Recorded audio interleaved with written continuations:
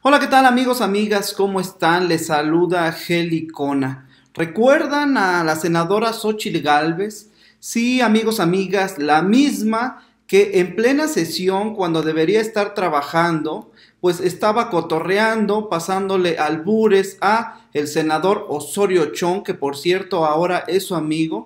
Recordamos esto. ¿Por qué les recuerdo esto? Porque pues ahora se da baños de pureza, según ella está muy preocupada por lo que ocurre en el país y fue a, a poner una denuncia contra Manuel Barlet. Según ella, quiere combatir a la corrupción. Recordemos estos nombres que estaba pasándole a Osorio Chong, donde pues eh, hablaba prácticamente de albures, decía que los candidatos para la CRE, les recuerdo, estos nombres que son albures, Rosa Mesta, Aquiles Castro, Aquiles Pico, Alma Madero, Débora Melo, estos albures que le pasó a Osorio Chong y que lejos de estar preocupada o haciendo anotaciones por la sesión que estaba en ese momento, estaba cotorreando, ¿por qué se los pongo? Porque no hay que olvidar esto hay que tomar las cosas de quien vienen y pues Ochil Galvez hoy lo hace otra vez a su estilo polémico. Recordemos que cuando estaban estos candidatos de la CRE sacó unas eh, orejas de burro y se las puso y muy polémica. Hoy lo hace otra vez porque hace esta denuncia contra pues eh, Manuel Barlet. Aquí les muestro la imagen todavía donde estaba con Osorio Chong y se las muestro porque más adelante vamos a retomar a Osorio Chong. Veamos cómo todo inicia cuando Xochitl Galvez emite este Twitter donde dice si de verdad la actual administración está comprometida con la honestidad, la secretaria Irma Sandoval debería solicitar la declaración de la situación actual de todo el patrimonio de Manuel Barlet, incluida su pareja y sus dependientes. Todo inicia así, este tweet que pone Xochitl Galvez donde pide según que deben de ser claras estas eh, declaraciones patrimoniales sin embargo, pues hay personajes que son incluso sus amigos como Osorio Chong y no lo está solicitando. Vemos aquí, eh, la secretaria de la Función Pública le contestó, le informo, senadora Xochitl Galvez, que la declaración de Manuel Bartlett es pública. Hasta la fecha no existe denuncia alguna en su contra. Si cuenta con información sobre alguna irregularidad sobre la misma, quien debe denunciar es usted. Estoy a sus órdenes.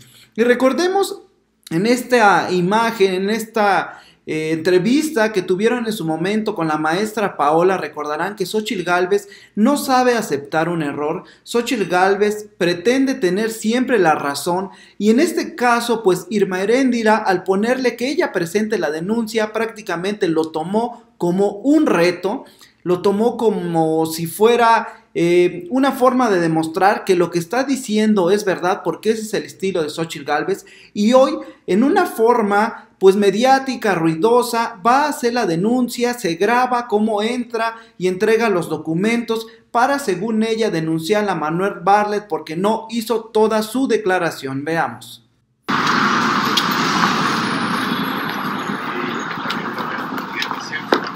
Hola, ¿qué tal amigos de Periscope? Tal como se lo ofrecí a la secretaria de la Función Pública, Ismerendira Sandoval, hoy estoy presentando una denuncia para que sea investigada la declaración patrimonial y de conflicto de interés del director de la CFE.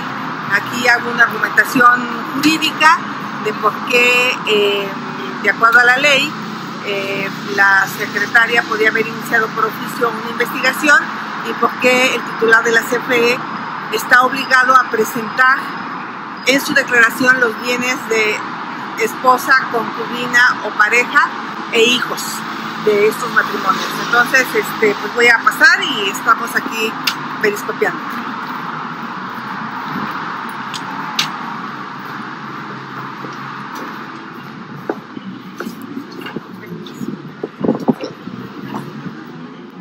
Vemos que Xochitl Galvez, fiel a su estilo, haciendo show, se está grabando cuando entrega esos documentos en las oficinas de la Secretaría de la Función Pública. Veamos.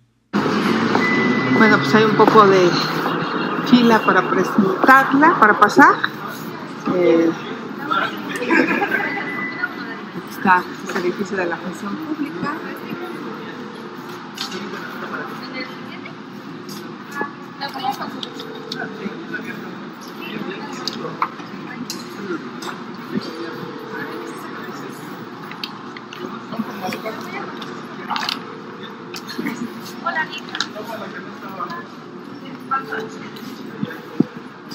Bueno, espero que no me digan. No contesta la Hola, buenos días. Este, vengo a presentar una denuncia ¿A quién va dirigida? a la doctora Imerendira Sandoval, Pase la ventanilla 1, por favor. a la ventanilla 1. Sí, oficialidad de parte. Gracias.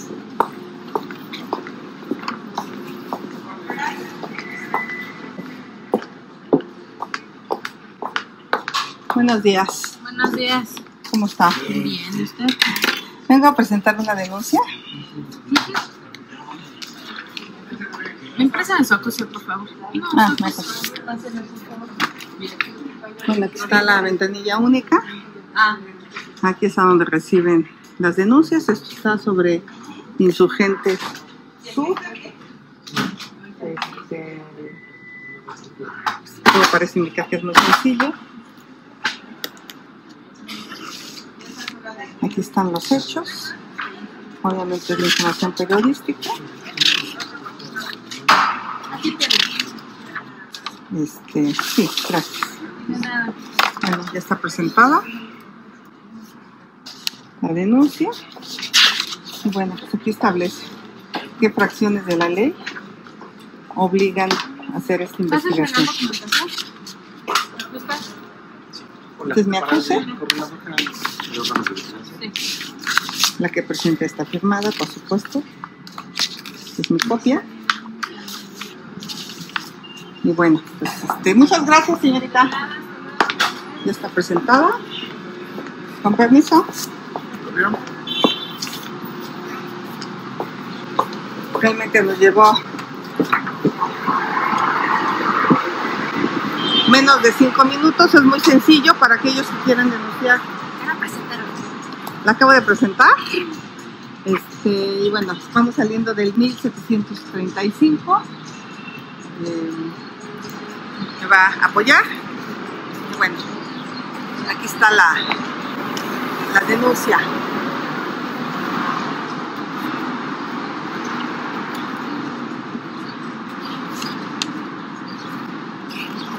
Y bueno, los hechos jóvenes construyendo su futuro, que son los hijos, y todo el sustento jurídico.